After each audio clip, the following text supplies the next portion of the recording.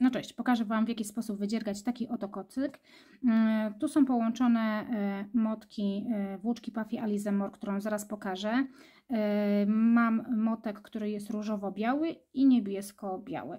To co z jednej strony mamy niebieskie, z drugiej strony jest białe i to co mamy z jednej strony różowe, to z drugiej strony jest białe. Tak więc są to takie dwukolorowe motki, które ze sobą połączyłam i wychodzą o, takie fajne wzory. Zanim przejdziemy do dziergania, zapraszam Was do siebie na media społecznościowe Instagram oraz Facebook i od niedawna Patronite. Można mnie znaleźć wyszukując hasło Magda i Sznurek.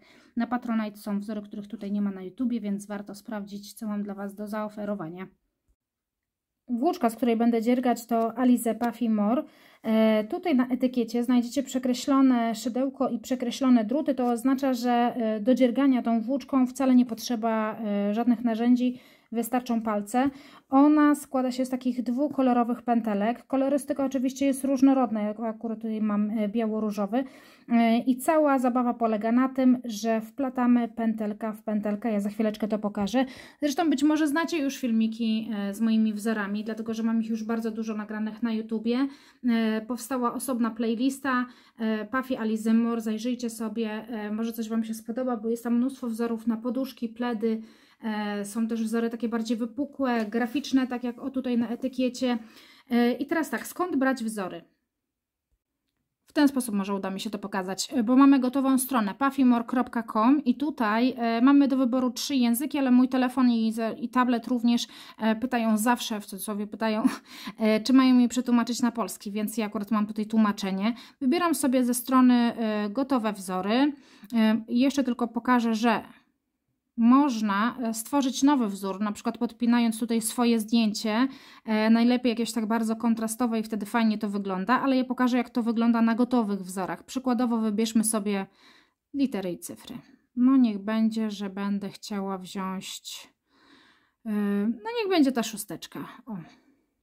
Wybieram, podświetla się, kontynuować, klikam. Za pomocą tego dużego niebieskiego e, kwadratu e, tutaj możemy sterować wielkością, jaka nas interesuje. Na przykład jak chcemy, żeby było mało białego tego tła, to sobie zmniejszam. O i niech będzie o tak. O tak trochę przytnę tą szóstkę. E, to jest tylko poglądowo oczywiście e, obrazek, bo można zmniejszyć zarówno ilość e, wymaganych motków, jak i długość i wielkość, ale chcę Wam tylko pokazać, że na tej stronie możecie mieć już taki gotowy przelicznik.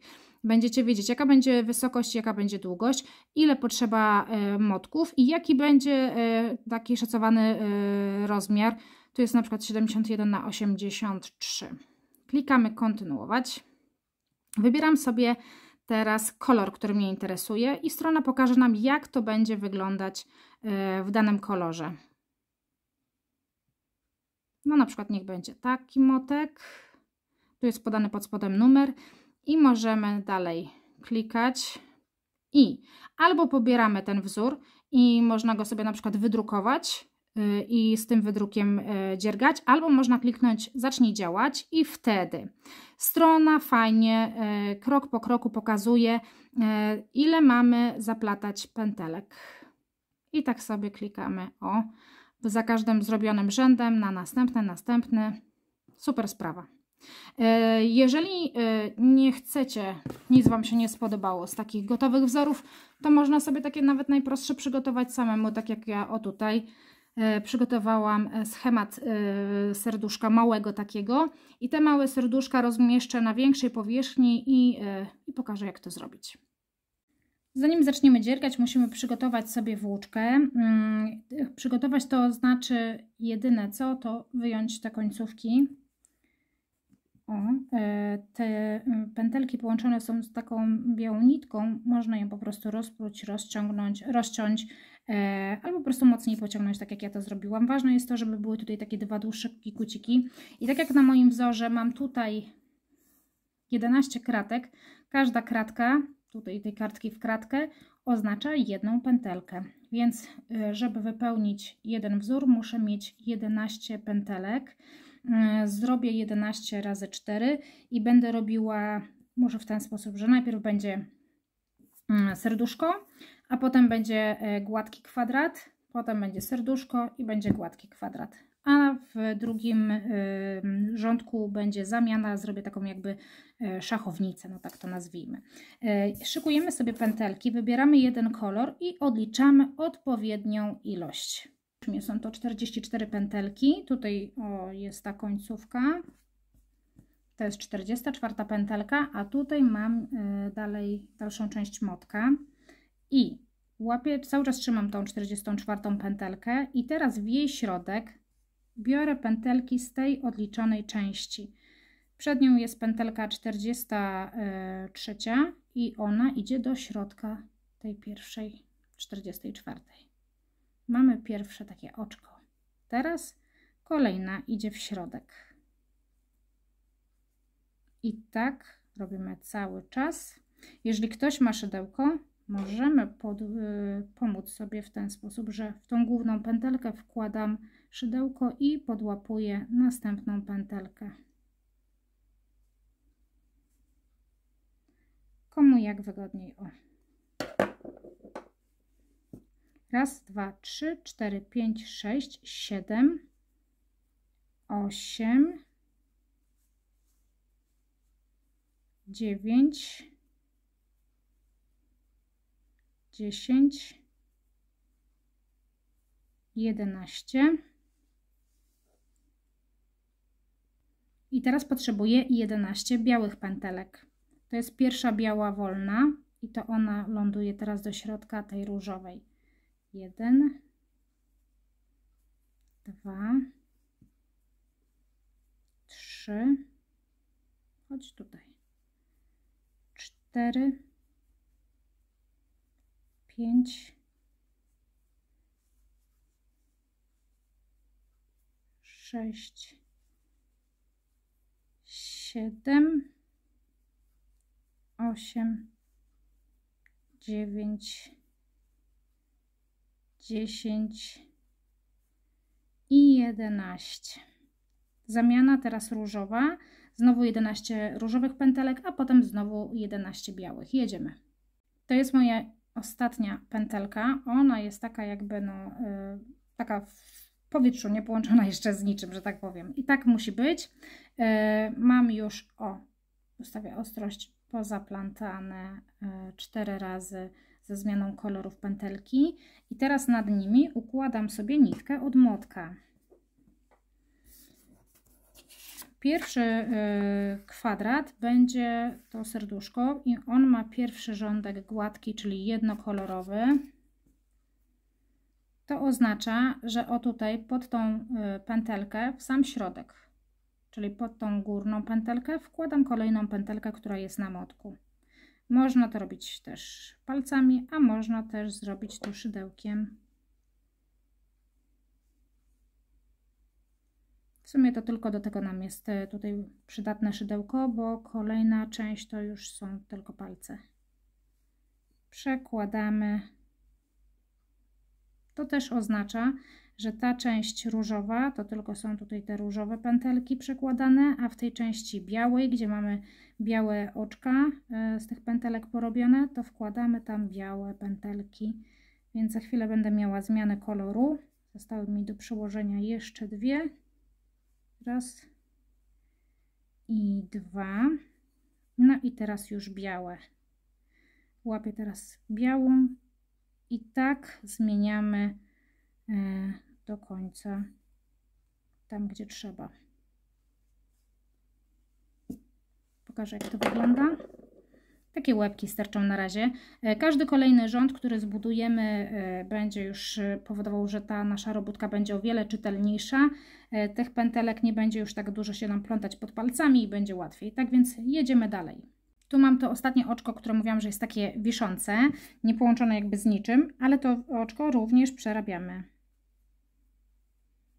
Do środka wkładam tu pętelkę i teraz ta, o tutaj ta pierwsza ułoży nam się poziomo, a ta pójdzie po prostu do góry.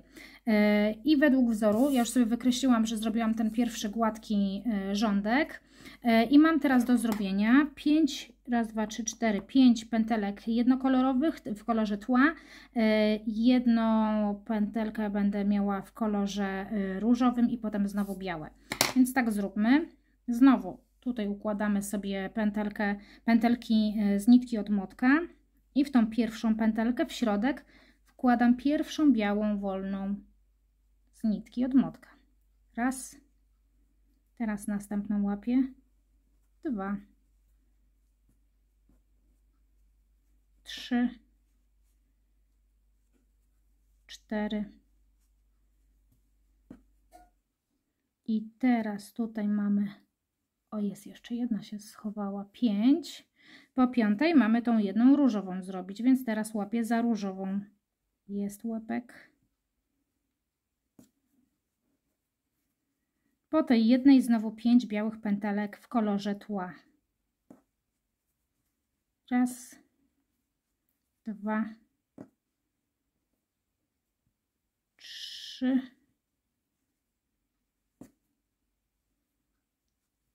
cztery i pięć. Dochodzimy do tej części, gdzie mam róż jako tło. I tutaj tak, to ma być serduszko, tu będzie gładki kwadrat, serduszko, gładki kwadrat. Więc teraz jadę na różowo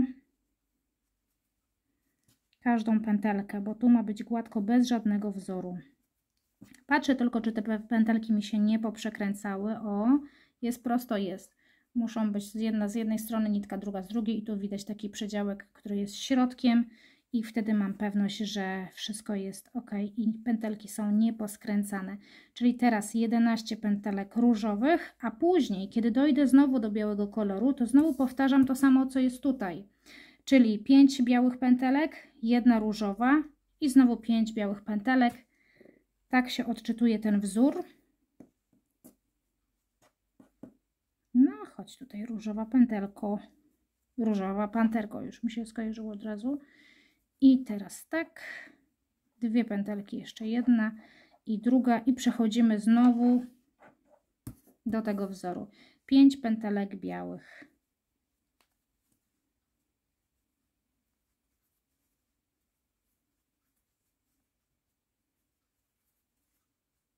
Jedna jest różowa, więc teraz na nią pora. Chodź. I teraz jest. No i potem znowu 5 białych. Kiedy zrobię 5 białych, został mi ostatni e, tutaj ten kwadrat, który będzie gładki i on będzie cały różowy. No to jedziemy. Gotowe, więc wykreślam sobie drugi rząd. Teraz tu będę miała e, po 4 kolory tła, 3 w środku i tutaj znowu trzy, trzy różowe i tutaj trzy, cztery znowu białe. E, tymczasem, zanim do tego dojdę, mam najpierw ten wzór gładki, więc układam nitkę od motka nad moim udziergiem całym. O, i tutaj teraz wkładamy tylko jedna pętelka w drugą. Tu już mam różowy rządek gotowy. Zobaczcie, jak fajnie wygląda i już jest to o wiele czytelniejsze, tak jak obiecywałam. E, I teraz przechodzimy do tej części, e, gdzie mamy serduszko i tutaj mam zrobić tylko cztery pętelki białe.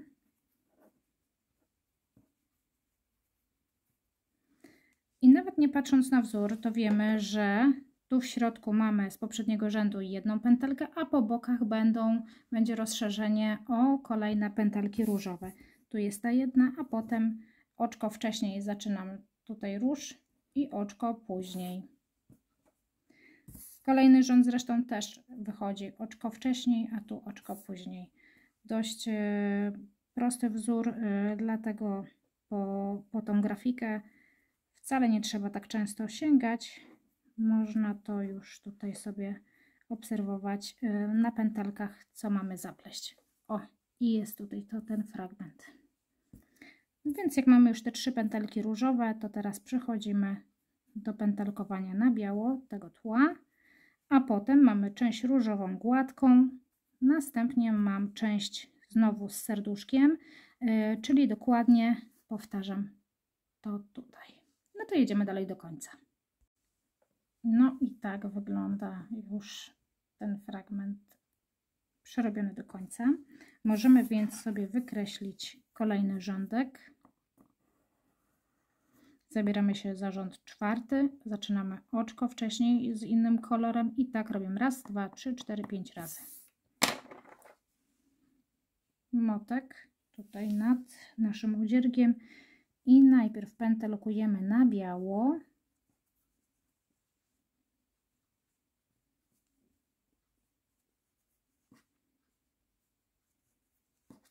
Tu w poprzednim rzędzie mam róż, zaczynam oczko wcześniej,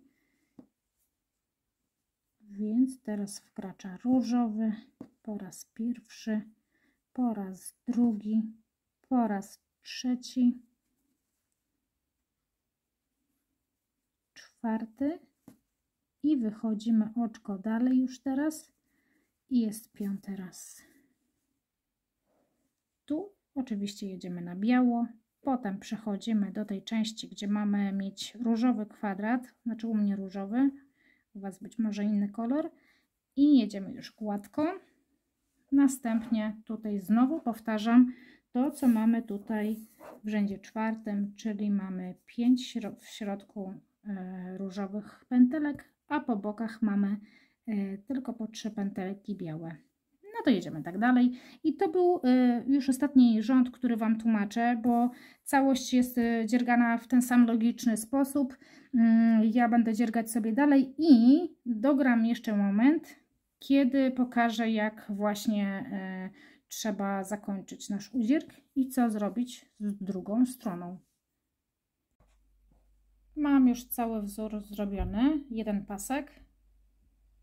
Powtórzę go jeszcze kilka razy, ale e, pokażę Wam teraz, jak e, doczepić drugi motek, gdyby Wam się na przykład motek skończył, albo chcecie, tak jak ja teraz, zmienić kolor. Mniej więcej na e, odległości dwóch pętelek, o tutaj, odcinam. I będę zmieniać kolor, ale to tak samo będzie właśnie działać w, w sytuacji, gdy motek Wam się skończy. Te ostatnie pętelki musimy rozplątać, o, tak żeby były. I ja teraz dołączam drugi kolor. Muszę mieć też e, te pętelki tutaj rozprute.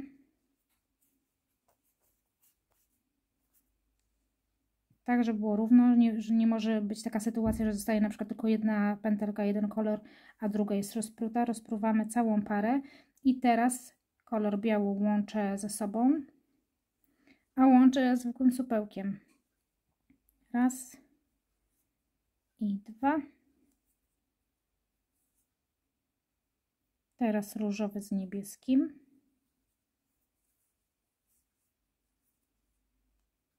Te końcówki schowamy później w ściegu.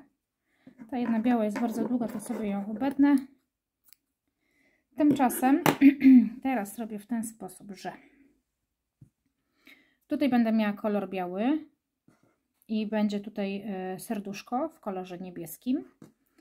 A tutaj będę miała cały gładki niebieski. W ten sposób powstanie mi szachownica, czyli to tutaj mam gładkie i po przeciwnej stronie na skosie, po skosie będę miała e, kolor niebieski, tu serce i po skosie tutaj będzie serce. Tak więc teraz od razu szukam białego koloru.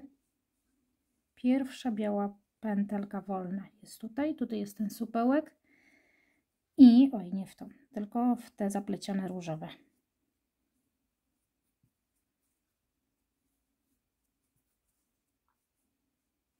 Pętelka w pętelkę. Tutaj totalnie nic się nie zmienia. Wzór jest ten sam, tylko że tutaj będę miała pierwszy właśnie do wykonania ten wzór, a potem będzie gładki. Tak więc po połączeniu jedziemy dalej, tak jak to tłumaczyłam na samym początku filmiku. Mamy już wielkość taką kocyka jak chciałam i teraz pokażę Wam w jaki sposób zakończyć yy, nasz udzierg. Tutaj mam o, końcówkę, która ciągnie się yy, do motka i tą część od motka już odcinam. Yy, zostawiam mniej więcej tutaj takie luźne dwie pętelki. Raz i dwa. Dwie pary takie. Teraz rozciągamy te luźne pętelki, które już są poza udziergiem.